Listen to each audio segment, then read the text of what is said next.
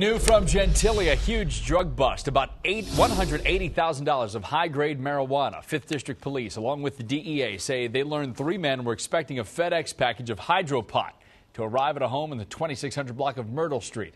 Investigators say once it arrived, they went in, seized the package, and also found the marijuana. Police say they also found a Colt 45 caliber handgun and other uh, drug paraphernalia.